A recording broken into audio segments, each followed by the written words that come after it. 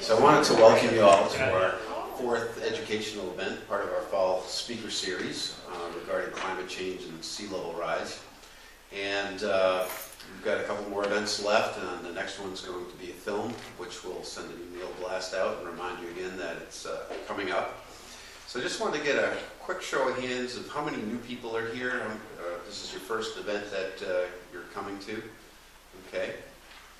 And uh, just out of curiosity, how many people learned about these events through the newspaper? Um, email? Um, the sign out front on the street? That's new, it's only two, two days old, but we'll have that out a little, uh, little sooner next time around. But Okay, so we're uh, Storm Surge, and we're a group of concerned citizens, and we're trying to educate our communities about the changes that are coming ahead. And uh, our strategy at this point in the game is to uh, spread awareness and educate people such as yourself so that you might get inspired to go out and talk to some other people that aren't really paying too much attention to the, uh, the climate issue. So, why is climate science, um, the science part of it actually, uh, why is it a political issue? I mean, it is just science after all, correct? I mean, we've analyzed all the best data, we've fed it into supercomputers, and then we've had some of the world's best scientists uh, look it over. And with 95% certainty, they're stating that uh, climate change and sea level rise are due to human activities, and we better get prepared because there's some big changes on the way. But climate change seems to be, in some circles, almost like a religion. You can either believe in it or you don't believe in it. But in reality, um, you can really only choose to acknowledge it or ignore it because facts are facts. So, for many people, they actually don't really have a problem with climate science. What they have a problem with is the results of the science. And the problem is that the results are actually pretty scary for most people. And so what we get into is this issue of how do people react to different fears that they may have. And when people uh, become scared, they have different reactions. And to uh, sort of illustrate this point, I'd like to take a simplified look at the Titanic disaster. So at some point when they were cruising along in the dark, somebody on the bridge said, hey, there's an iceberg, and we can't turn this boat fast enough, and we're going to hit this thing. And so they had this problem, and they knew it was going to be a problem. And it hadn't arrived yet, but it was coming. So people fell into three camps in terms of how they dealt with this problem. You had people on the bridge who said, well, let's minimize this impact. Steer the boat hard right or left, I forget which side they hit on, but let's try to avoid this impact as best we can and minimize, you know, casualties and the extent of the damage we're going to sustain. Then there were a group of people that conceded, hey, this is going to happen. The boat's going to go down we got to start getting the passengers ready and the lifeboats ready and basically conduct an evacuation of the ship. And then there was the third group, and they basically chose to ignore the problem and they just partied on until the ship collided with the iceberg, started to sink, and then panic set in. But at that point, it was too late to do anything, and so many people uh, perished as a result. So you can see that there's some parallels here between climate change and that disaster. We've got people falling into these different groups. Um, just to illustrate another point, the North Carolina State Coastal Resource Commission, like the International Panel on Climate, uh, Climate Change, predicted that sea level would rise roughly a meter, maybe a little bit more, by 2100. And they began one of the first efforts in the country to prepare their state for the future impacts uh, of climate change. But the prediction of all of this water required a lot of adaptation. Presented with presented North Carolina, like many other coastal states, with major with a major set of problems that they had to deal with. They had infrastructure like roads, schools, government buildings, wastewater treatment plants. In some cases, entire communities would need to be relocated. Then the inundation maps also showed expensive existing coastal properties to be going underwater, and then planned future real estate developments were also going to be underwater. So who in their right mind would want to buy property there? So what was really pressing was this uh, prospect that their entire coastline, the, uh, the real estate values would plummet, and the flood insurance rates would go through the roof. So the legislature did something that was fairly unprecedented to deal with the problems created by these sea level rise projections. They simply passed a law and said that these sea level rise projections are illegal. Can't talk about that. so, they passed a law essentially banning the state from basing any of their coastal policies on the latest scientific uh, predictions of how much uh, sea level would rise in the future. So they basically solved their problem. They didn't have to relocate any roads, didn't have to uh, uh, you know, worry about flood insurance going up, so on and so forth. So basically, the government in North Carolina fell into this party on group uh, on the Titanic, and they're basically sticking their head in the sand.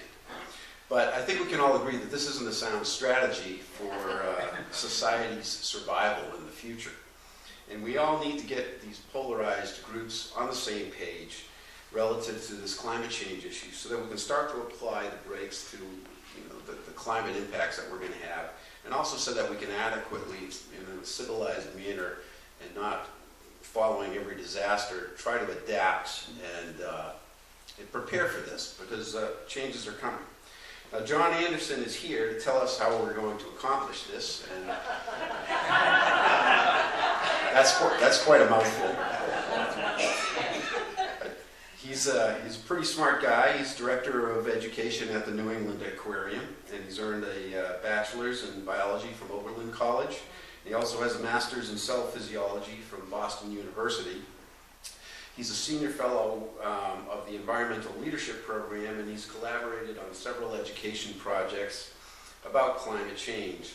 And he now directs the National Network for Ocean and Climate Change Interpretation, where, through collaboration and maybe finding some common ground, he's trying to get these polarized interests together to come and do something about the problems that we face.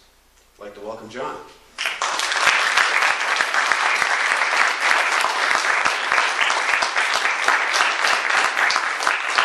Mike, thank you very much. And uh, Sheila, thank you very much for reaching out and inviting me. I'm really, I'm pleased and honored to be here. And um, I cannot promise that I have all the answers, um, but I hope that I can stimulate you to um, perhaps have some new ideas this evening. And I want to um, start by reflecting on why I think I'm really here, why, why I chose to be here. And it, it really um, comes down to the idea that I'm grateful I'm grateful because I'm aware of work done by people in generations gone by to do things such as create a public uh, school system, public education, to create roads and bridges that allow one to get from Boston to Newburyport in an hour.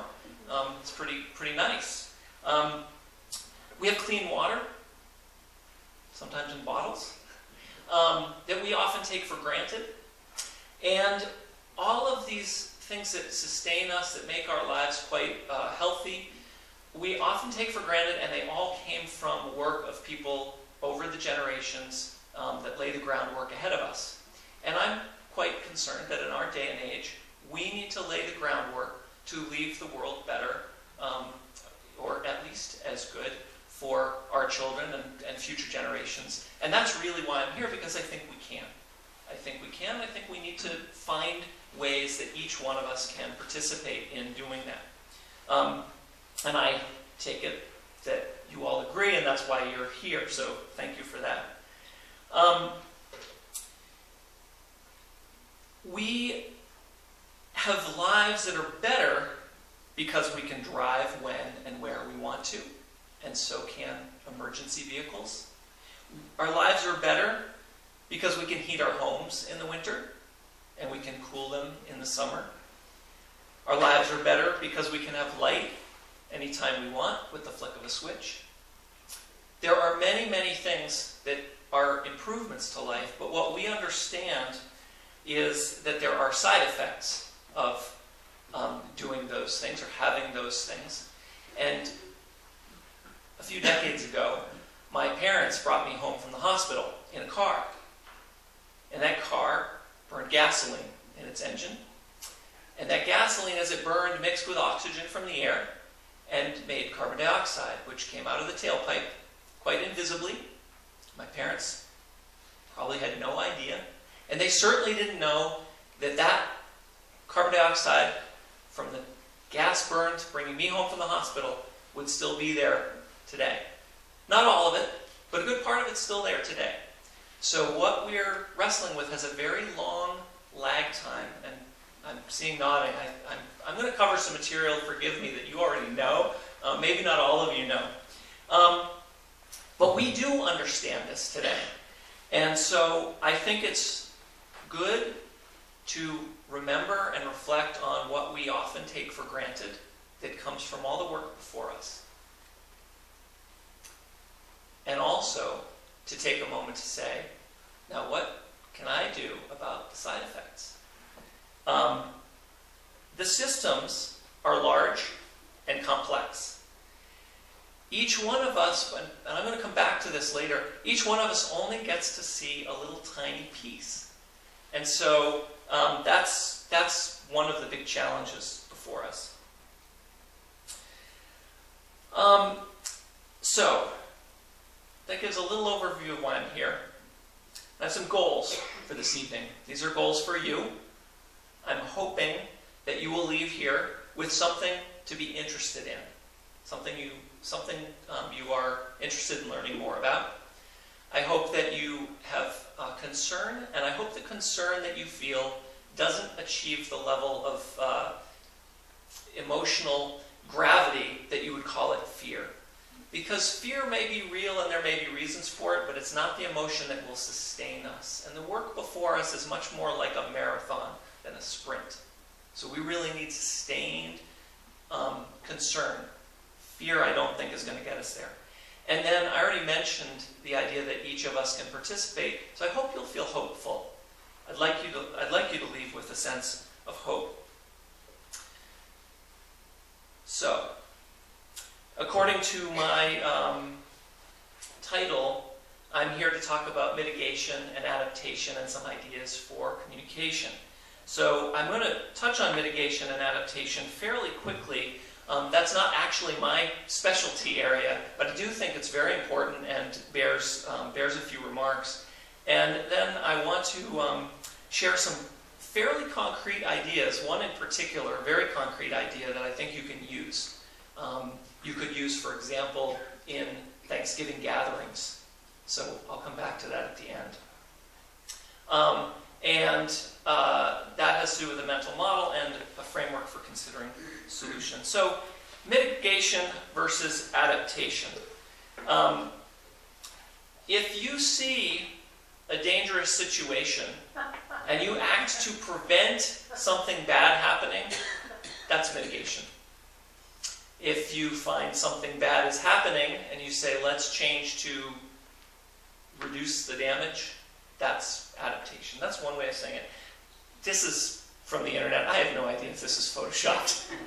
um, but you can see there's a potential for a problem that might want some attention. Um, this is a way I thought about it. As I thought about this, I said, what's the difference going on here? And I thought, well, maybe this would make some sense. Mitigation is the stitch in time. Adaptation is the nine that you have to do if you don't stitch the one in advance. Well, in the climate system, there's a lot that's really already underway. We've missed a lot of those initial opportunities for stitches. And so there's momentum in the system. It's going to keep changing. So we need to start both. And I don't think we can depend on mitigation at this point alone. We'll, we'll need to uh, be adaptive. Um, so I walk my kids to school in the morning. And we stop dutifully at the light and push the button and wait for it to say, the walk light is on. The walk light is on. And I say, well, okay, so it's safe to cross, right? But I ask my kids, I stop, whatever we're talking about, I interrupt and I say, now watch the cars. Because maybe some of these brakes aren't going to work as they approach the intersection. So we, we face on a personal level every day, many times. If you ever wait for the train, you know, do you don't you stand on the yellow line? No, you stand back. You know, if the sea level's rising, do you stand on the edge? Yes, a lot of people do. Right? Should we? Well, there's a lot of concern about that, and, and there are a lot of issues embedded in that. But we actually we actually take um, safety steps all the time. But notice that the time scale and investment, interruptive conversation to say, make sure the brakes are working on the cars approaching. It's immediate. It's at a scale that we can manage cognitively. Our brains work that way.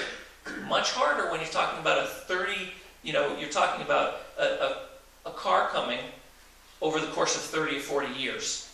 It's a much, much more difficult cognitive kind of task. But we need to engage in that kind of task. Um, adaptation is response to change. This is taken, actually, you're going to have um, Paul Kirshen coming, and I, I think the next two slides, actually, he may show you. I think they're from work he, he participated in. But let me just say, I'll, pre- I'll preface something that I expect he'll talk about, which is that just taking Boston as example, an example. Have any of you been to the new convention center in Boston? Just a few of you. Well, the entire area, I mean, from my view at the aquarium, I've watched hotels go up. Like, I mean, it's just, it's incredible. I once heard a guy talking about China and Beijing. He, he was away from Beijing for five years. He went back, he couldn't find the house he grew up in. He said the national bird of China is the crane, the construction crane. You know, so, so the Fan Pier area, of Boston's like that. Well, it's, it's pretty close to sea level. And so some pretty smart people have been getting together and they said, you know what, if you're building a building in Boston that's greater than 50,000 square feet or something, don't put anything important on the first floor in the basement. Unless you build the basement like a submarine. Because you got to just assume first floor flooding. Just assume it. So, um, have any of you heard the story of the Spalding Rehabilitation Hospital? Raise your hand if you've heard this story. Many of you have, so I'll be quick. Basically, they didn't put anything in the basement. They put all the, the utilities that would normally go down below sea level, they put them on the roof or somewhere else. They did a whole bunch of things to make that building um, not only rated as a green building by the um, what's called the LEED standards, um, but they, they really did plan for sea level rise. At the aquarium, if you've seen our renovations from a couple of years ago, you'll notice that the walkway outside is both more beautiful than it used to be, and it's also elevated. You know, we still, we, we um, about 10 years ago, we invested about a million dollars to move the electrical closet from the basement to the second floor. Um, you know, costly stuff, but, but we recognize that we need to do these sorts of things. Um, if you're building new, you know, try to get it right from the start. Um, you know, that building, the, the aquarium building was designed in the 1960s, so we didn't really have this issue on our radar screen yet. And we're trying to play catch up like so many others are. Um, I think you know the next few slides, so I'm going to go through them quickly. But what I really want to emphasize here is we've got 7 billion people on the planet. This is not just about us. You know, when a hurricane hit in the Philippines, people around the world want to reach out and be helpful. We care about each other around the world. And um, big events are happening at an increasing frequency. Um, and that's essentially what this is saying. So there are multiple trends that all indicate essentially the same thing. The climate system is changing, and I, as I say, I think you know this, so let me go through quickly. Weather and climate disaster trends. This is based on um, billion dollar events. Seems to be a trend of increasing billion dollar events. Global average temperature anomaly, that means the difference from the long term average is increasing. Global ocean heat content. Um, you know, there's been there's been a lot in the news about how the global temperature has sort of been stable last 10 years. Well, the ocean's carrying 90% of the heat that's been trapped. And people don't really see that when they see the average global temperature. The heat content in the ocean matters tremendously. The uh, ice in the Arctic is uh, the, the, average annual um, sea ice minimum is going down well, uh, much faster than, than models projected. Around the world, glaciers are melting. In the upper right, if you can see the little red dots, those are all the glaciers that are being measured, reflected in the trend in the graph that shows the trend. Heat records are being broken at about twice the rate that cold records are being broken. You still have, you know, it still gets darn cold, and there's still record cold spells and cold events around the world. Um, this is from the United States. Um, but the rate at which heat records are falling is much faster. And this is important um, for ocean folks. The green part of this in the lower right, that downward trend is pH. And the, the pH of the ocean is um, still, still very much in the alkaline end. It's, it's above 8, but, it, but the, and it's not the same in all parts of the ocean. It's not, not the ocean isn't totally even everywhere. But, um, but the trend is very clearly um, towards the acidic direction of the scale with, with great consequences to many, many biological processes. So, there are multiple lines of evidence. We get it. It's, the, the climate's changing, and there are 7 billion plus people on the planet, probably going to 9 billion in the next few decades. We don't know exactly, but that's an awful lot of people, and around half of them live in the coastal zone where sea level and uh, coastal storms matter immensely, let alone, you know, the tornado events. And I don't understand how tornadoes work at all. Um, I, don't know how they connect to, to climate change, but my, my personal perception is it seems like there are more tornadoes in, you know, than I remember from my childhood. I don't know that statistically. We need experts, but um, extreme events seem to be um, mounting. So I've already alluded to this. We've got a, a big challenge because our brains don't think about pH measured over time in a graph. This isn't, this isn't really what resonates for our brains.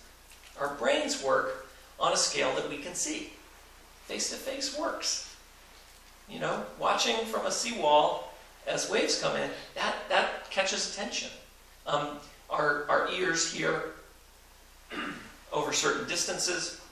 You know, we can touch, we can taste, we can smell, but we don't, we only get a tiny slice of the bigger picture. And that's part of why the, the work of getting attention and action related to changing systems is so challenging. So here's a way of looking at that. Do you know what this picture is?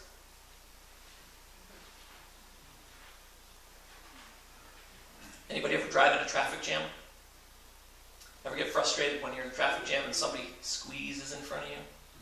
Yeah, that's like this picture.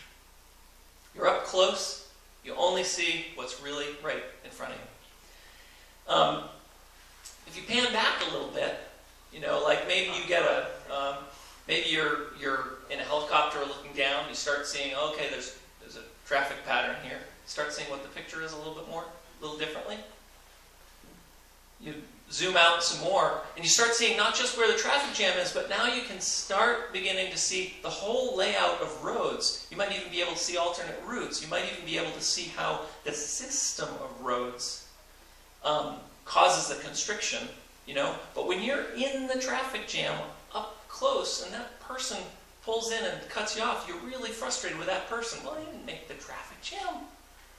But you can't see that when you're so close to it.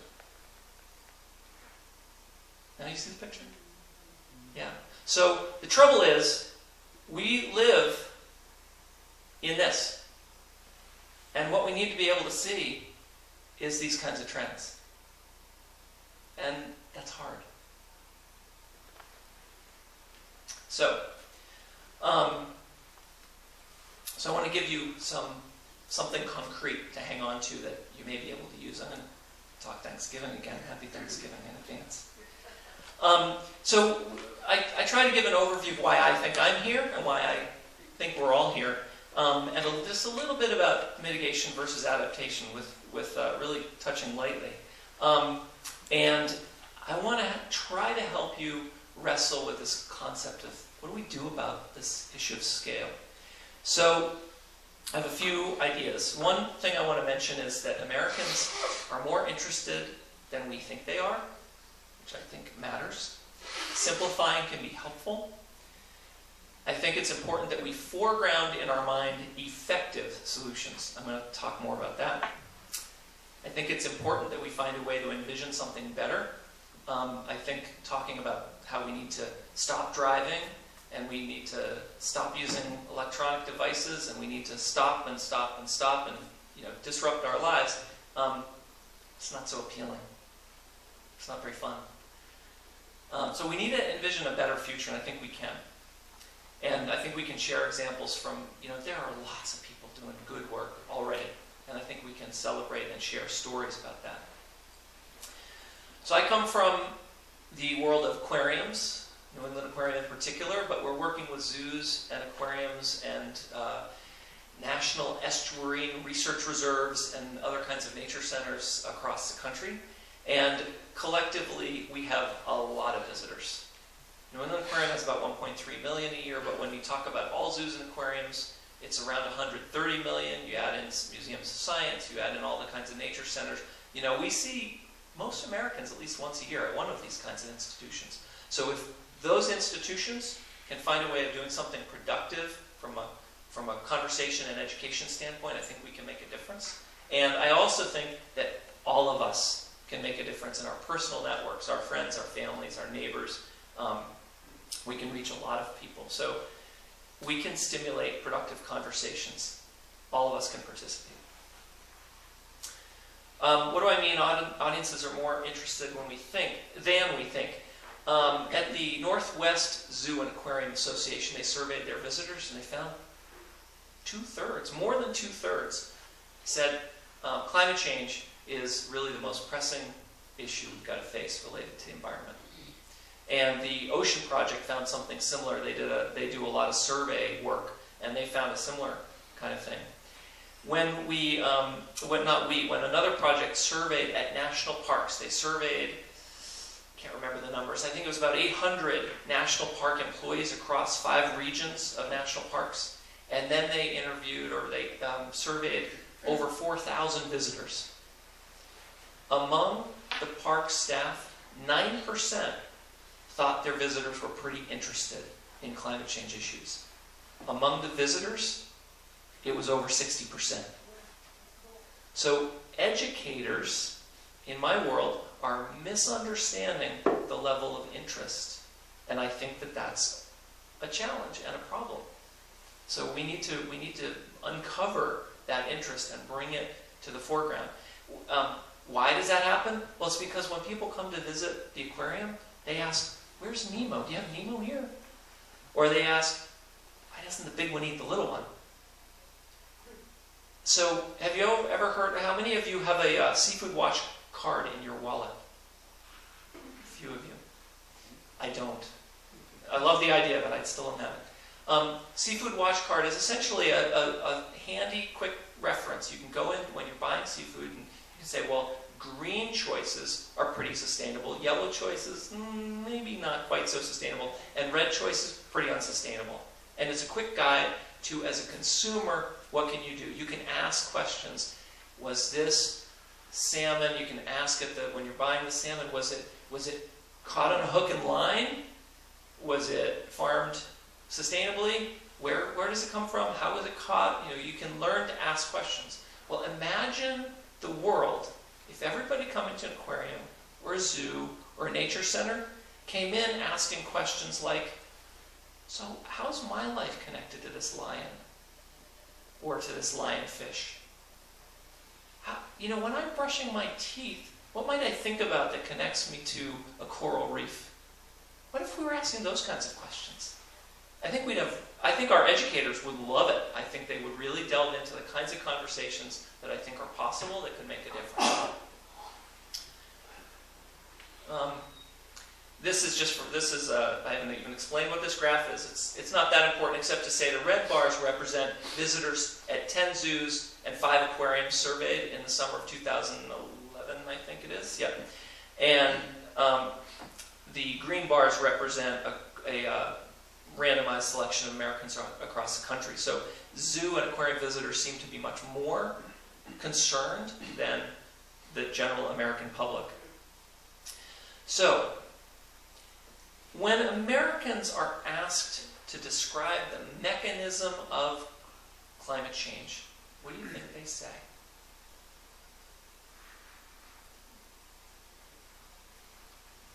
If I were to ask for one of you to explain how does climate change work, would anybody be willing to come up and explain it? Come on up. Are you, are you willing? Okay, come on up.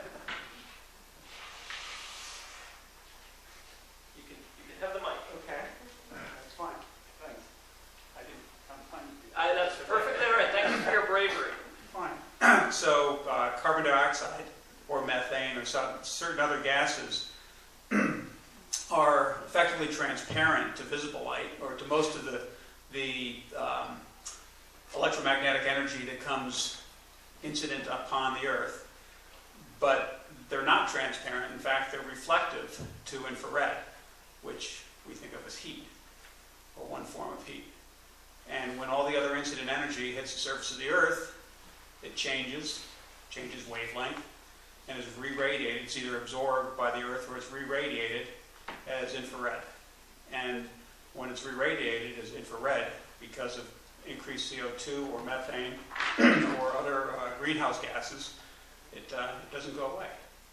It stays here and it heats the atmosphere and then it's transferred from the atmosphere to the ocean, to the land surface, to weather systems. That's pretty much it. Brilliant. What's your name?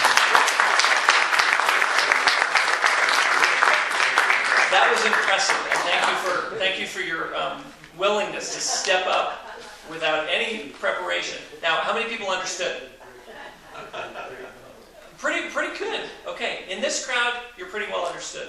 If you walked out on the street and said all that, how many people do you think would understand?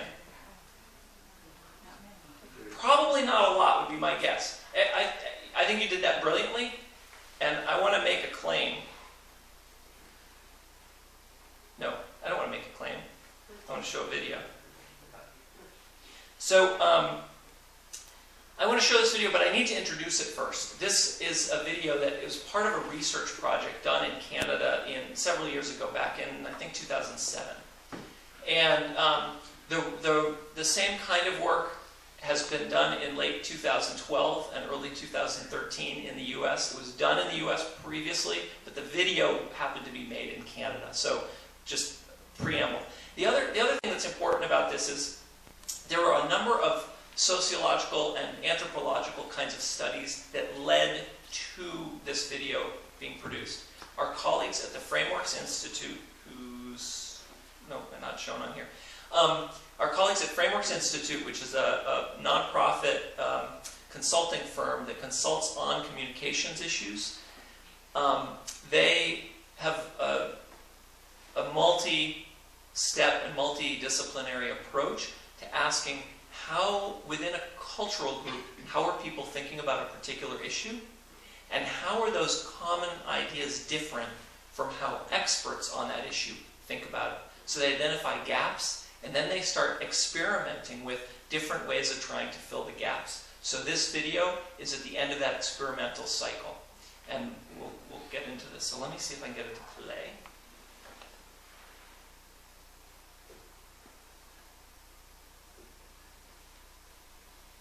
As part of Framework's effort to demonstrate the effectiveness of a okay? simplifying model for global warming, we first asked researchers at Cultural Logic to assess people's default responses to the topic. When you ask Canadians what causes global warming, most people are unable to offer a coherent explanation. Can you tell me what you know about how, how global warming works? Where does it come from? What's caused by? glaciers melting. Pollution. There's tons of reasons. We've had two ice ages and we're turned ice and got warm again. It could be natural, or it could be anything. We've had uh, meteors and, and comets hit the earth and cause global warming. Right now, man is causing it, but don't mean it's good, don't mean it's bad. Um, just I don't know. The, uh, what was it? What was it? I wonder if you can tell me how How? how it works, how it happens. How it happened? I don't know. Others prefer to talk about the impacts rather than the causes of global warming. Well, what I heard about global warming is that stuff is getting warmer, you know, like the snow is not gonna be as much, you know, it's gonna be less and more rain I heard is gonna fall. Many Canadians mention pollution as a cause and imply that the problem is an inevitable byproduct of modern life. the cars and all the pollution that we're causing in the world right now, factories, all this uh, urban stuff that we're doing is wrecking the environment. sources of pollution and, uh, you know, uh, cars and smog and, and all of that. Just basically, you know, civilization, really. You know what the mechanism is Uh, no, I don't. No, not really. The most common explanation offered is that pollution damages the ozone layer. Pollution wrecking our ozone? They put holes in the ozone layer. Do you hole in the ozone layer? Depletion of the ozone layer, to the best of my knowledge, is mostly pollutants, um, getting into the ozone, making it warmer. It's really uh, providing, uh, you know, creating a, a huge uh, problem with the ozone. Many people talk about some combination of impacts, pollution, and ozone without offering any real answer about how global warming happens.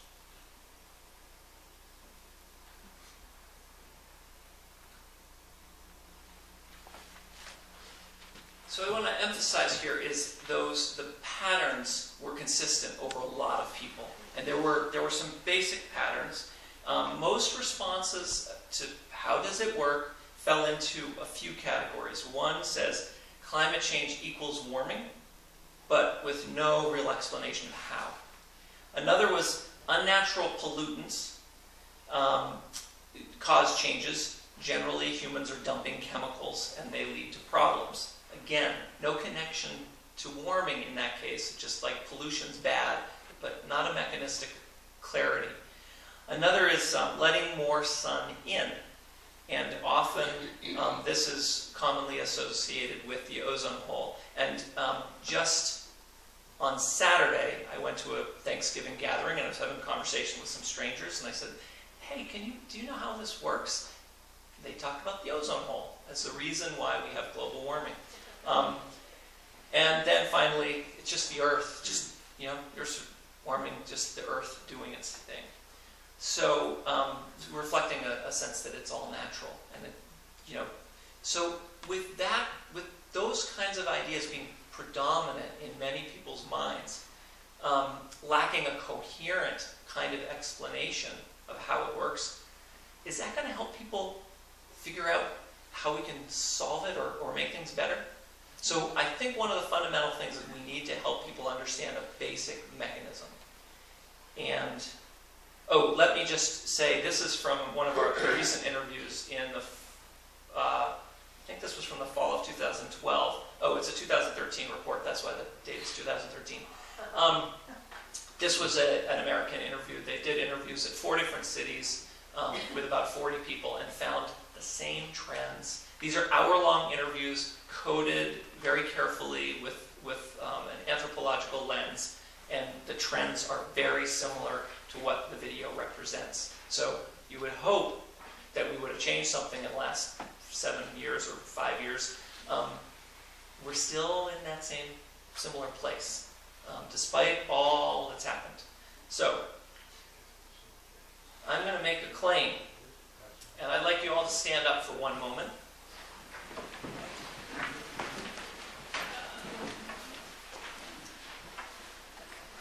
Thank you. This is part of my exercise plan. I was trying to make people stand up. Um, please remain standing if you are confident that you could come forward and solve this right now. Remain standing if you could do this confidently. If you are not confident, please feel free to sit. Six, less than 60 seconds. I'm saying it is possible to explain to a person on the street in less than 60 seconds a mechanism that they, um, that, that they can really grasp. Awesome. Two of you. Okay, I'm going to show you the second half of the video where the interviewer tried to illustrate a possibility.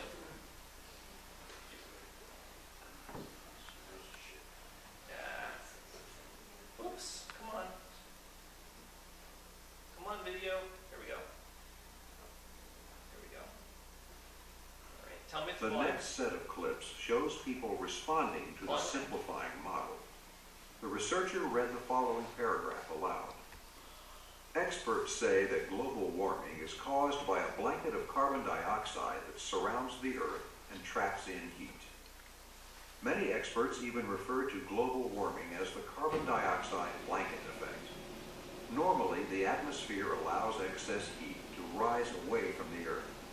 But by pumping tremendous amounts of carbon dioxide into the air, we are creating a layer that traps heat and keeps it from escaping into space. Heat just isn't getting out. The heat trapped by the carbon dioxide blanket is raising temperatures and causing problems all over the world. We then asked questions like, how do emissions from cars and industry cause global warming? What steps could Canada take to slow down global warming? What are the main consequences of global warming?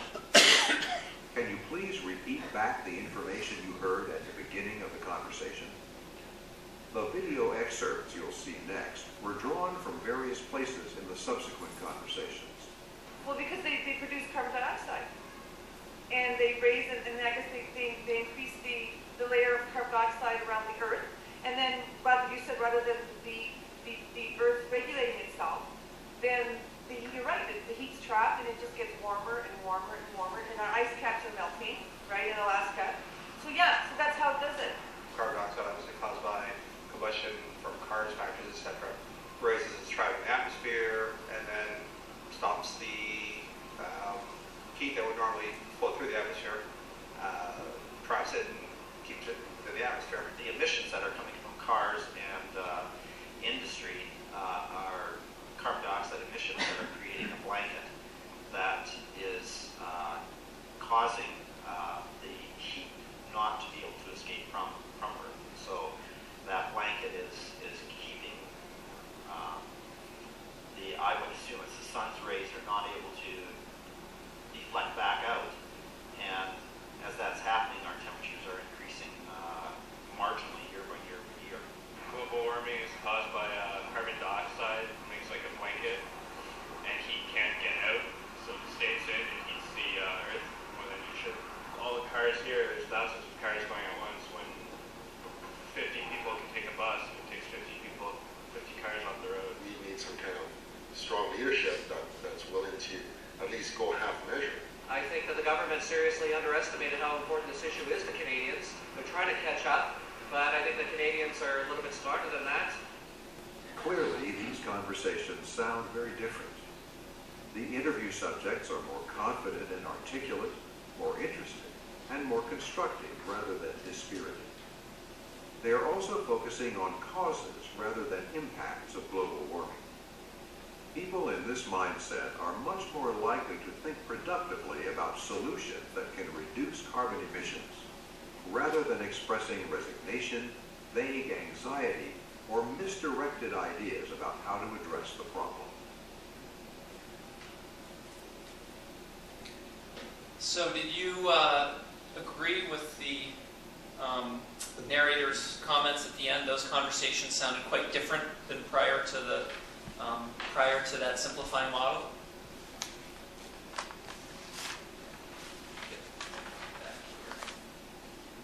And um, did you agree that those interview subjects um, seemed more confident after hearing that simple model? Was the simple model less than 60 seconds? It was. Did you hear that people were talking more about causes and, and they were sort of a little less confused? Uh, were they argumentative? Did they get, did they get all political?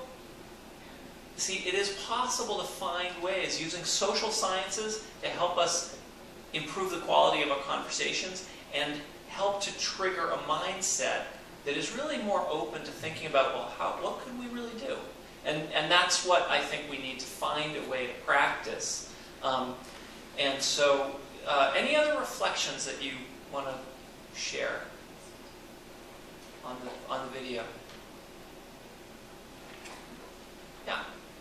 Why doesn't carbon dioxide just go out into space? Why doesn't carbon dioxide go out into space? Um, essentially, the it's, it, my understanding is essentially it's gravity. I mean, the, the, the atmosphere is essentially the Earth is give or take a closed system. You know, we're not we're not exchanging a whole lot of mass from the Earth and the Earth's atmosphere with space.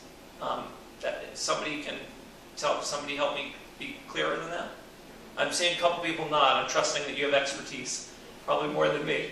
Um, that's my understanding. It's just basically gravity doesn't let carbon dioxide out. Yeah. Along with that 67 second Yeah. let's say that you had Fox News produce a color 60 second presentation. Yeah. What then do you think would happen That's a great question. Um, I, I think I'd go back to the idea that most Americans really are interested, and most Americans, if you can, if you can get them out of, not in front of the television screen, then you could have a productive conversation. There are some, they're not going to have a productive conversation, but that's a pretty small minority overall. So I think we aim for the sort of the, the, the vast, the, the majority of folks and do the best we can. And improve, you, you'll, if you reflect on what the narrator said, is people in this mindset are more likely to sort of cognitively think about solutions at, at scale. So that, and that's the next place we need to talk about is what do solutions mean. Um, so I want to I want to go there. Yeah, one more comment. I think it's really nice that they use the, the blanket because everybody has experience with the blanket. They, they know how blankets work, they know the so just, They, they tested the blanket as a metaphor very, very carefully. And one of the big challenges is that the greenhouse effect model, people imagine a greenhouse in their mind. A lot of people have no idea what a greenhouse is, they just get confused. But a- lot of people do know what a greenhouse is. And you know what? Greenhouses are really nice places where plants grow. So the greenhouse effect, and, and let's be clear, thank goodness for the greenhouse effect, because Earth would not sustain life without it, right? So let's just be clear about that. However, um, as, a, as a mental model, as a mental kind of construct to explain how the world works, the greenhouse seems to get confused and integrated with the ozone hole. And so people think there's a hole in the roof of the greenhouse. It- or something like that. So the metaphors we have in mind, they get mixed in ways that make them inaccurate, grossly inaccurate. The blanket doesn't seem to trigger that misunderstanding. And in, in their in the frameworks testing. Um, and by the way, they tried a whole bunch of things, and the blanket metaphor is the only one that people could repeat back pretty with fairly good coherence, and that, that really helped them think more productively. They, they tried a bunch. So, you know, my colleagues who I'm working with say, well, aren't there any other metaphors? And the answer is no. I mean, there are, there are, we make up metaphors all the time. There are lots and lots of metaphors, but in terms of very carefully tested, um, no, there aren't. And, and Frameworks is currently doing research to try and get a really good metaphor to help us with ocean acidification. I'm really looking forward to it. We've needed it for several years, and um, we've needed it probably for decades. So, so I'm concerned about the notion of willful ignorance. If you own a coal mine in West Virginia, or you work in a coal mine in West Virginia, you're Yep. be kind of in denial because maybe the implications for your family's income is going to be. Sure. Let's come. Let's come back to that because I want to talk about solutions before we talk about that. And again, you know, ninety-seven percent or so of climate scientists they're on the same page. Six percent of Americans are convinced Elvis is still alive. We're never going to get everybody, right? We, we you know, the, the Okay, I want to show this again. You don't have to use exactly the same words. You can use the metaphor effectively and you can use your own words, but I'm gonna I want to review some key features. This is one way of doing it pretty well. Quite simply, when we burn fossil fuels like coal and gas, we pump more and more carbon dioxide into the atmosphere, and this builds up. This buildup creates a blanket effect, trapping in heat around the world. If nothing's done to halt the process, the planet we leave our children will be hotter with more violent weather, fewer species, and disrupted ecosystems. So I want to unpack that a little bit. This is what we call the design specs of the heat trapping blanket. Um, the, the metaphor makes choices, or the, or the phrases that I just shared make choices. They ignore methane, which is really important. We get it. But we focus on something because cognitively people can handle it. So it makes choices. There is one major cause, one- one major driver of global warming. And the problem is caused by specific activities. Um, you know, sometimes people say, well, humans are emitting all this carbon dioxide and it's a real problem. And what's the solution then?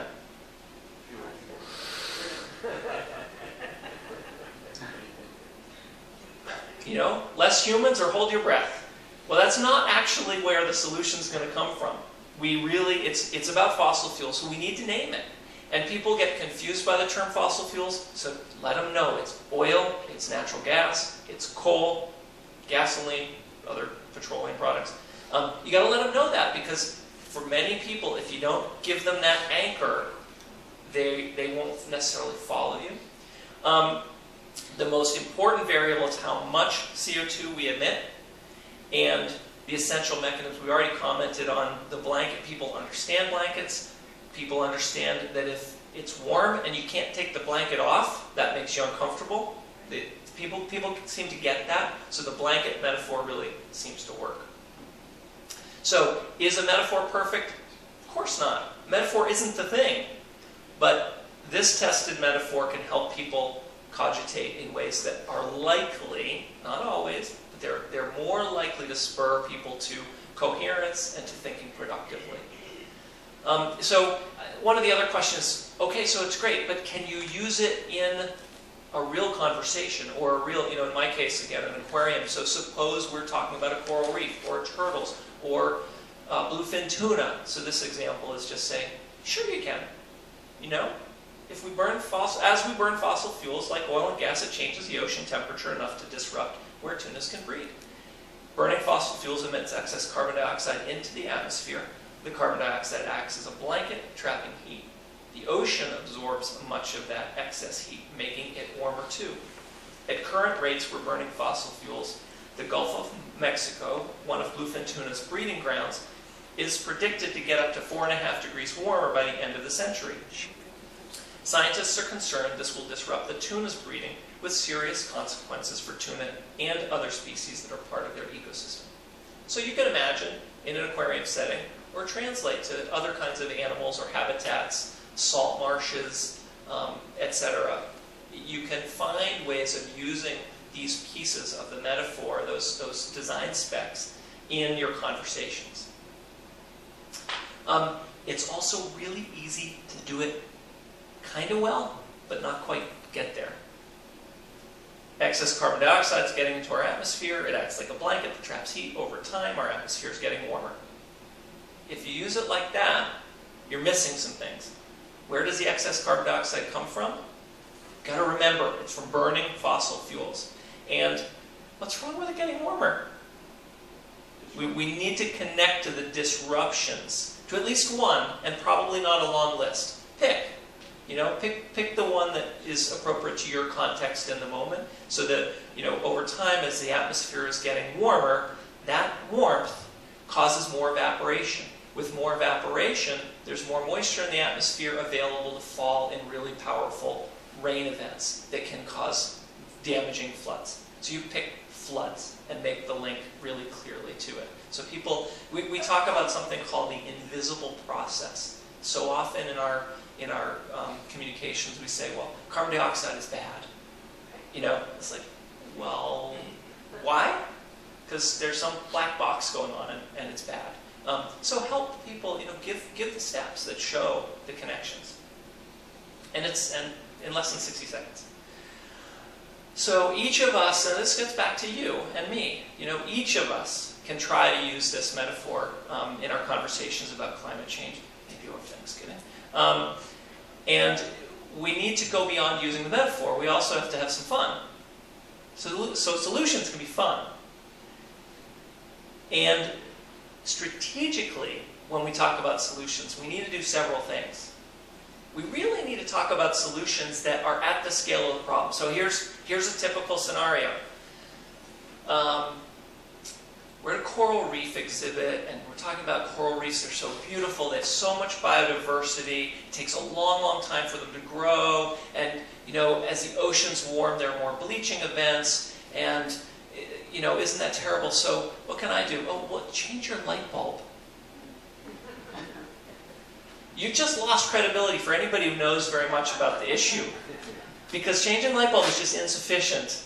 It's not a bad thing. I recommend we change light bulbs um, to, to the most efficient that we can, you know, get light out of. You know, it's not that I don't want people to have light, but um, let's let's get to some bigger solutions that are also fun. I'll give you a couple examples that I like, and I hope you'll teach me some more. Um, I also think it's another point is, you know, again, I work at New England Aquarium, so people pay to come in. So you pay an admission price to come in to visit New England Aquarium. From the moment you start that process, how are you thinking of yourself? I want to get my money's worth. That's a consumer mindset. We have a very tough job because we really want to stimulate a civic. We're citizens. We are all citizens. We're also all consumers. But can we foreground the idea of being citizen more than foregrounding the idea of being consumers? That would be to me exciting because we are a democracy and we do get to we do get to participate, um, not only through voting. Voting is you know the sort of hallmark of of uh, democracy. We, we get to have a voice in our towns. We get to have a voice in our states. We get to have a voice in our communities in many many ways, and we can choose to use the voice or not. But we can we can think of ourselves as citizens, and and, and that that could be valuable. And the reason, the reason for presenting regional level solutions is for many people that we'll have conversations with.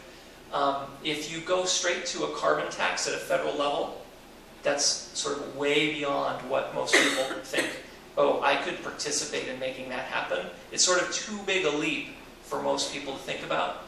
But um, thinking of something a little lower scale than that, and I'm not saying a carbon tax isn't a good idea, um, but it's certainly worth discussing. Um, but that's probably not going to work for, for most of our audiences to really help them think about their own sense of being empowered to participate in the unfolding story of how we shape our future. And I think if we can find ways of talking about solutions, orienting people to their own sense of citizenship, orienting them to how the mechanism works, and talk about solutions at scales that are bigger than what I think our patterns have been, I think we can create change. So I want to go back a, a, step to talking about ways that experts and the public think differently about these issues. Um, experts understand that solutions need to come from reducing carbon emissions. The public tends to think, if you say, well, what can we do to help the earth or what can we do to prevent climate change? Most people will say recycling. Just ask, you can find this for yourself. Um, experts really understand that this is quite serious, and because of the long timelines, we've got to get started. It's urgent. And uh, the public thinks, yeah, we ought to consider something. Um, the experts think that policy really is necessary. We really do. We need to use the free market. You know, we need to use the market system and the power of the market to create change. Experts get that. Economists, leading economists get that. Uh, the public thinks that you know we can do 50 things. The, the top 50 things we can do at home are what we can do. So there are some real disconnects here. This is what Frameworks Institute staff colleagues will call a gaps between expert understanding and public understanding, and these are things we need to work on. So this is a way I like to encourage people to think about solutions.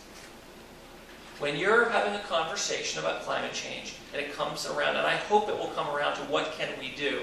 Um, one common phrase is there is no silver bullet. Anybody know where that comes from? From Dracula or from uh, or from Lone Ranger, right? Right? Yeah. Or yeah. Anyway, um, there's no single answer.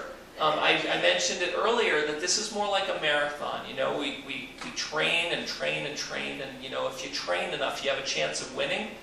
And if you don't win, you're still in good shape. You know, but we but we need to do it over time. It's not, you know, we don't get to exercise one day and we're done. We don't get to solve climate change one day and we're done. We need to sustain attention day after day, month after month, year after year, for generations to come. So we, we need to get started. And the boxes here, um, you, I mean, I, I hope this is fairly intuitive. We can act across multiple different kinds of industries, from the energy sector to agriculture to commerce to, to building construction um, to how we manage waste. You know, so there are all these sectors going down the side. And then there are different kinds of scales. And we can, we can do individual things. Um, but if that's all we do, we're missing lots of opportunities. So let's explore those opportunities in our own, you know, like this is where this is where it can get fun. Um, let me just see where I'm going for a second. Um, let me let me try to give you an example um, that I think is really fun, and I've been considering this recently. So I'm going to start from a different perspective and think about the box that's transportation at the city level, maybe even the state level. And I'd like you to imagine a world in which you never had to spend even five seconds, never, five seconds, looking for a parking space. Who would like to live in that world? Five seconds, not even. You wouldn't have to spend a minute. You wouldn't have to. You, ne- you would never have to park a car. You're for that, right? Never have to park a car. Now, how many of you um, are using your cars right now? No, no, no. I mean, I mean, right now. How many of you are using your cars right now? How many of you have a car? How many of you are paying insurance right now for that car? You like that? Paying for a car, it's sitting there doing nothing. Suppose we never had to pay for a car when it wasn't doing anything. Most cars spend 95% of their lifetime sitting parked, turned off. You still pay the insurance. They still rust. You've got to take care of them, even if they're just sitting parked. We pay for that. And we spend all this time parking. We spent all this time in traffic. Inventing the automobile was such a lovely idea, wasn't it? And we get traffic accidents. Okay, well, how, how does this connect back? Well, I think we could design a transportation system with current technology that could be 80% more efficient. And I think it'd be fun. We could use our roads that already exist and treat them like rails. And we could treat cars that already exist and treat them like trolley cars. And we could use the technology that companies are developing for cars to drive themselves. And we could use the technology that's in my pocket. And I could say, I'd like a car to take me home. And my little device in my pocket would say, car will be there in 7 minutes and 39 seconds.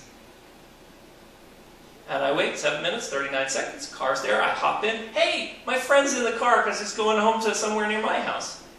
And we ride it like a trolley car, and it uses the roads, and, um, and I hop out of the car and I don't even have to say goodbye. I just go home, and I don't have to park it.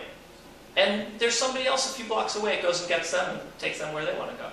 And when you get a density of cars and a density of uh, computer you know, mapping so that the computer algorithms know where all the people are, they know where they want to go, they know where the cars are, they know, and, they, and it optimizes a route. And if there's a, if there's a snarl up for some reason, it just routes things around it. And the nice thing is, you could start with just one of these. You don't have to take away anybody's right to own a car. Everybody can still buy a car and pay for it when it's sitting idle, if they want to. So let me ask you a question. I said this is fun. Do you think this is a fun conversation? Some of you do. Some of you are willing to say you do. Some of you are shy. Um, that's the, this is the kind of conversation that I think we should find a way of having. Conversations about things like this. That and and why, how do I get to 80%? I, I'm guessing. But just think about it. If if cars are, are parked, you know, on the order of 95% of their their lifetimes, well, that then a whole lot of cars could do the work. Those cars could be working instead of being parked, so we could have a lot fewer cars on the road. And cars that are driving and don't have to turn their engine off and on and off and on, uh, uh, they, they, their engines operate more efficiently. And I think we could reduce the number of cars on the road tremendously, increase efficiency of the vehicles that are on the road, there would be no distracted driving, so it actually could make the make the roads a lot safer, as well as less congested. So in less congestion, everything can flow more freely. I, I don't, I haven't done the calculations. Probably Rocky Mountain Institute has done that. I don't know, but um, but it would be a whole lot more efficient. Now, does anybody have a similar kind of conversation that you can lead us in for agriculture or for buildings or for something? You got something? Well, I wanted to uh, one plus your car thing. I hate school buses sitting idle all day long except at There you go. one in the afternoon and then all summer long sitting Right. idle. And I don't see any reason why it shouldn't be part of the public transportation system that saves everybody some money somehow. Right, right.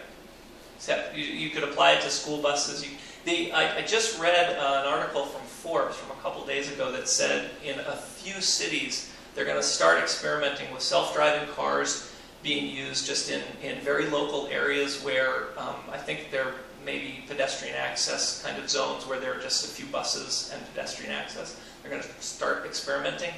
Um, but this article is saying we're still decades away. I hope we're not. I hope we're, I, I hope we're only a decade away. Um, and I think the legal system is the biggest, the biggest hurdle. But I don't, I don't, I mean, this is still fantasy to me. I, I'm excited about it, but it's not my world, so. Does anybody else have another really fun conversation that could get us in one of these boxes that you don't talk about very often? Oh, actually, let me see. Uh, who's had this conversation before tonight? One. Okay, good. Two. About the cars, yeah.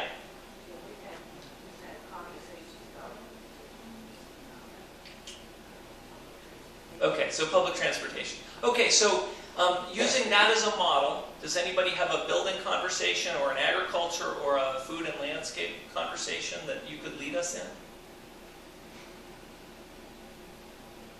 Yeah. Um, I don't know a huge amount about this, but maybe somebody else in the room does. Um, I was recently just visiting a farm school in Athol, Mass. We were talking about. Can you speak up a little? Yeah, sorry. Um, I was visiting a farm school in Athol, Mass. that I'm applying to for next year, and um, the people there were talking about how plowing on farms, which obviously has been going on for years and years and years, um, is actually can be really horrible for the soil after a long period of time because constantly turning it over kills the life in the soil, which doesn't help the farmers, so it doesn't help us, and it obviously doesn't help the environment. So they're working on this new kind of farming, or it's not super new, but it's also not super popular, and um, that's permaculture, and it's based on working with the environment instead of working um, against the environment, which farmers have accidentally a lot of the time done for years by the clearing huge parts of land and turning the soil over and over again. And um, the permaculture doesn't, when you see permaculture in action, it hardly looks like a farm. It looks a lot more like a, like a woodland area um, because nature has the ability to kind of, I mean, obviously it grows things itself. It's a beautiful system. That, that's how we have Maudslay State Park and Newburyport. And that just keeps itself going. So farmers have been using this permaculture and that natural model to sort of to grow vegetables and they'll plant seeds and just allow and it takes time to you know transform your farm into this setting but they allow nature to work with itself and work within its own system to produce a lot of really amazing crops that we can actually consume and, and use without harming the environment and without harming the soil and I think that's really interesting I'm like I hardly know anything about the science of it but just just talking about it with these farmers was really cool and I think it'd be cool to see what else people have to say about permaculture. So, quick question for you: Did the farmers like it? Um, some of them did. Some of them were, were really into the idea and like hoping that their the farm that we were on would you know Yeah. go in that direction. But the guy running the place was like, "Oh, I really don't want to talk about this," and you can kind of tell that because It's hard. The people who have to transform their farms to that, it's like it takes so much Yeah, time. the transition- the transition's lose a lot. hard. Yeah. So one of the things I really like about that is people are already doing it, and I think that the, the transportation example that I used, um, the trouble is it's still fantasy in the future, right? So I think we need to get down to roots. And I said earlier, it's helpful to, to think on a scale that um, people can imagine themselves participating in. So I want to share a quick example of um, anybody heard of Audrey Schulman? Anybody heard of E HEETMA.org? Home Energy Efficiency Team, Massachusetts. From me, from me. that doesn't count. um, Audrey Schulman, she has kids, and, and she said, you know, I want the world to be better for them, and I, I don't know what to do. I'm, a, I'm an author. And she said, well, you know, but I have a house. You know, I really like barn raisings. But we don't need it. We're not going to raise a barn. So what would a 21st century equivalent be? So she had a party. She invited a bunch of people over, including a couple people who knew what they were doing, and they air sealed and insulated. They changed every light bulb in her house. They, you heard all about this. Well, it was very cool. They had a good time. They had a party. They learned some stuff. They got to, they built some new relationships. And they did it in 180 places. That's scale. And it's imaginable. You can imagine finding, you, you can imagine inviting people to your own home or participating in somebody else's. So that's at a scale that's both much, much bigger than put out the recycling, please. You know, and it's community building. And so I really like that story. What's happening? Does this mean I have to leave? I don't know what. I don't know what happened to mic. Oh, is it? Oh, you can. It's still working. Oh, it sounds different to me. Like. All right. Well, I'll, I'll use my teacher voice. I, I just I just checked the time and I realize I'm running really late, so I want to I want to move through very fast now. Um, but my challenge to you is to find ways in your conversations to use the blanket metaphor and those pieces that we talked about, the, the heat trapping blanket metaphor specs, and to find some of these boxes that you've never talked about before and bring them into your conversation. I'll tell you one other really quick one. Tod Hynes and colleagues started a company in Watertown or Brighton somewhere, and they developed an aftermarket hybrid system for vans. They want to sell it to FedEx and UPS and you know companies that buy thousands of thousands of vans. And this captures braking energy and uses it for acceleration and improves the fuel economy by about 20% on the vans. And they can install it in a couple hours, you know, aftermarket when they're installing all their paint jobs and shelving and whatever they install. There's a there's an example that's a corporate kind of example. It's it's taking an idea and creating a business out of it. So I like that one as well.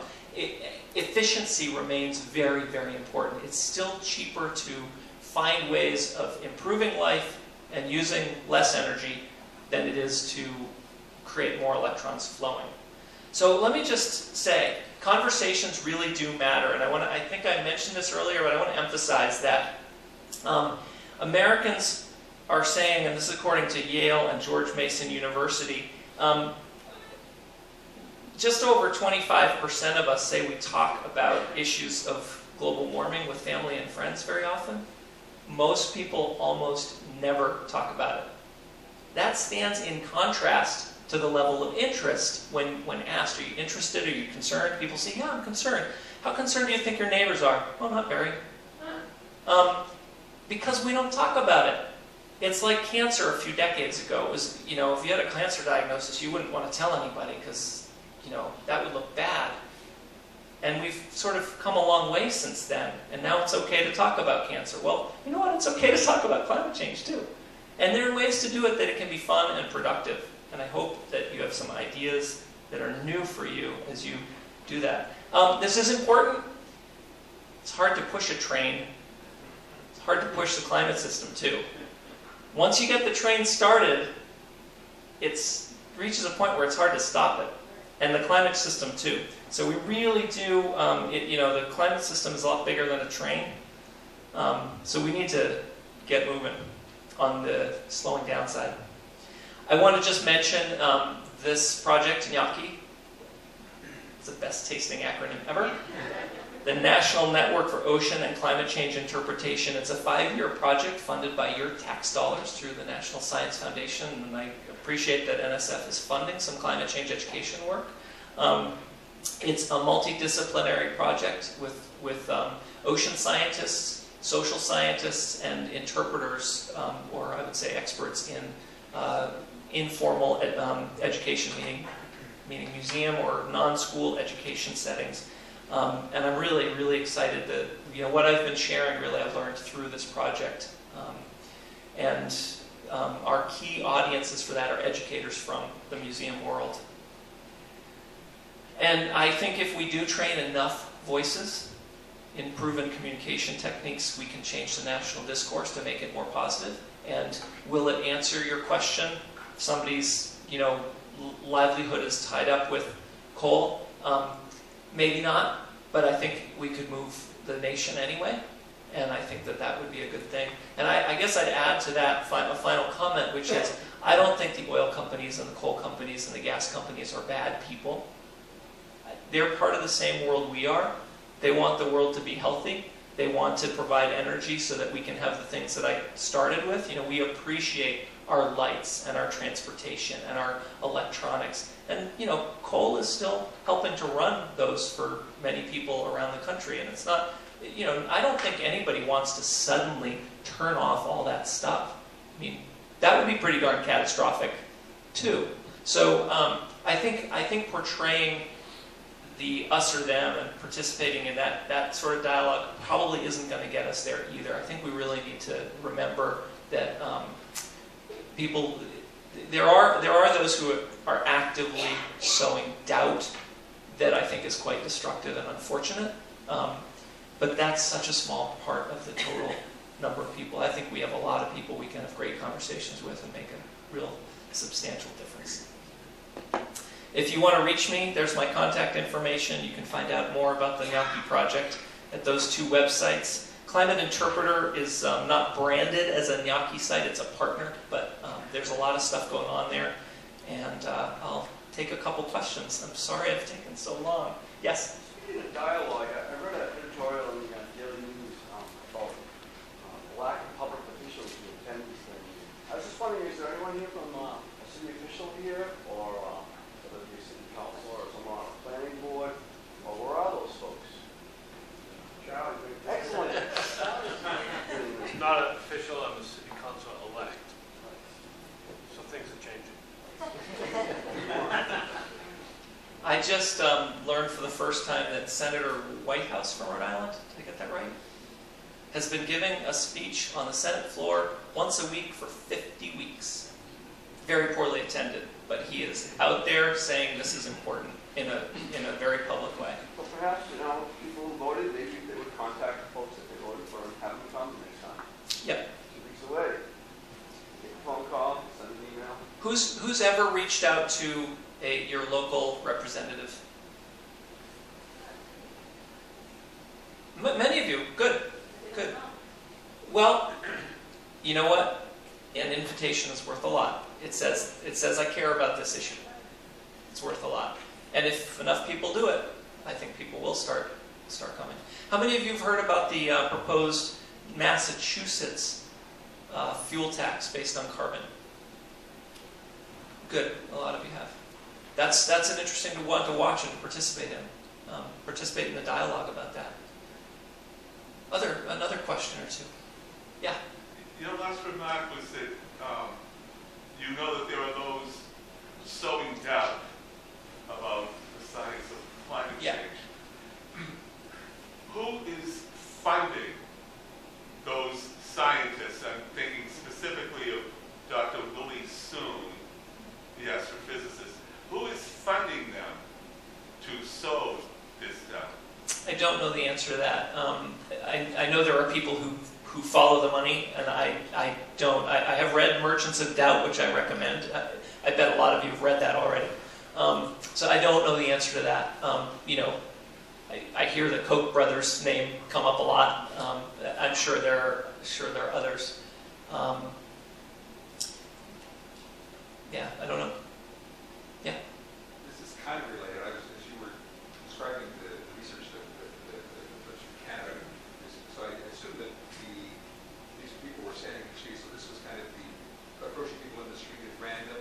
And that, and then my question is about the issue of the credibility of this, the- is there any, any research to, looking into how the, the, the recipient of the information reacts depending on how the, how the, you know, how the credibility of the person delivering this, this new metaphor Yes. Um, I don't. I don't think they did the research during the on-the-street interviews, but they did. Um, they did a research project where they essentially put the same message out, and they had a number of different people represented. So a political leader, a scientist, a, a climate activist. Um, they. I can't remember all the categories. Um, and they did find that some messengers were much more effective using the same words much more effective at stimulating, you know, sort of productive thought than others. Um, I don't have all that in my head, but um, but that kind of work has been done, and it is being done right now, again in the U.S. So we'll we'll learn some more from that in a few months.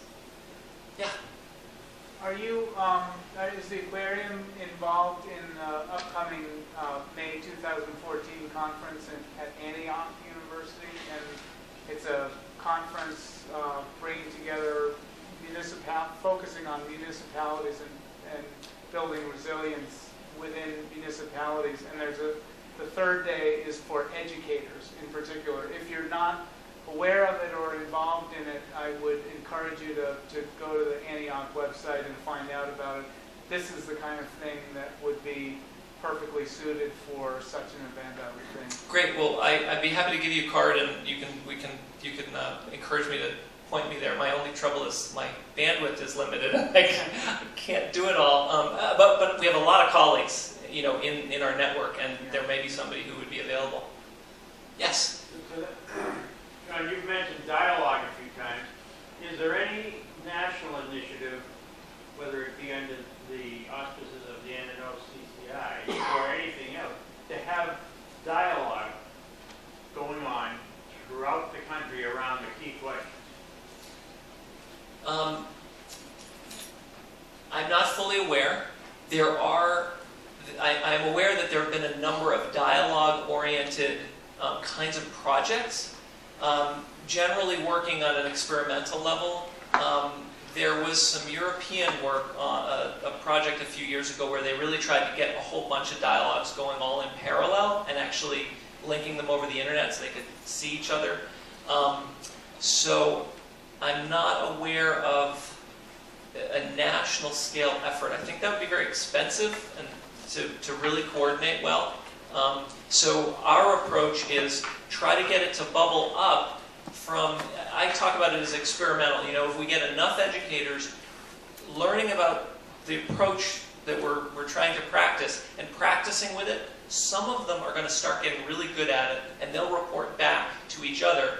I did this, I had these great conversations, people were so appreciative, and that will support those who feel more tentative, which, and there's a lot of, uh, there are a lot of educators who really wants to engage in the kind of work I'm alluding to, um, but they feel tentative for, for some good reasons, um, and sometimes for some not so, some emotional reasons that may not be fully founded.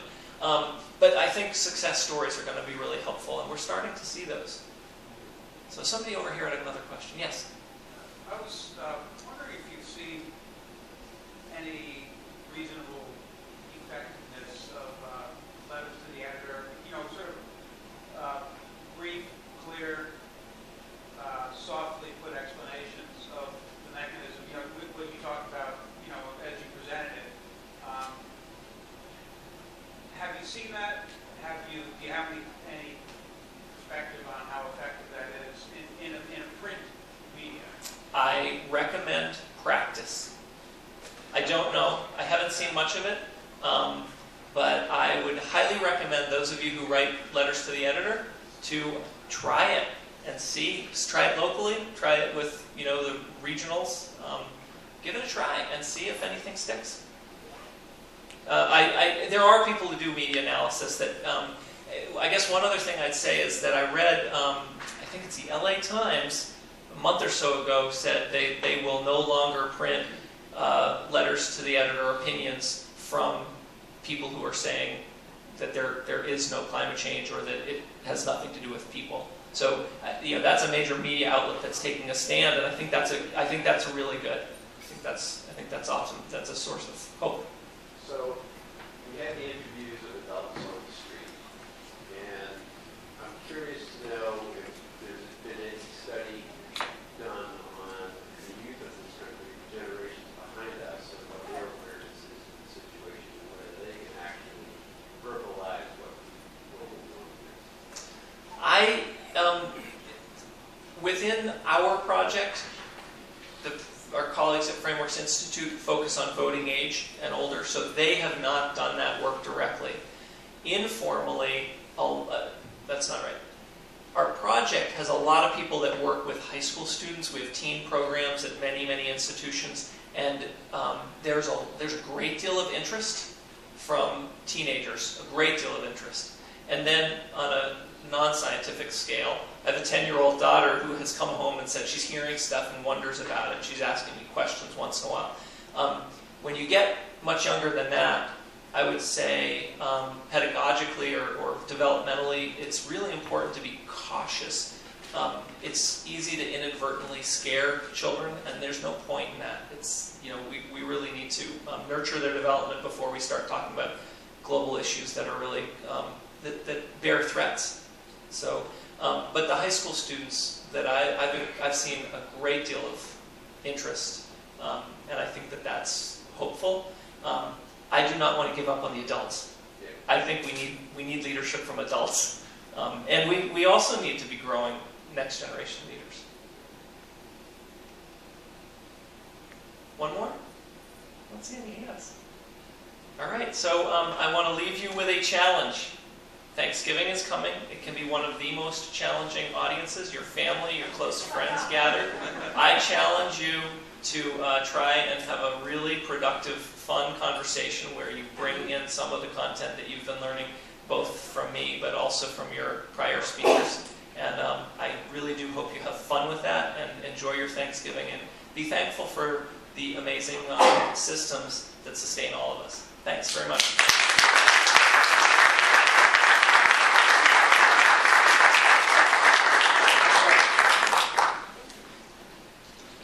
Thank you, John. That was a great presentation, and I thank you all for coming. And I, I just have a tip. If you're going to be sitting at a table with a conservative relative, I, I was captive on a sailboat with a fan of Rush Limbaugh for about 10 days up in Alaska.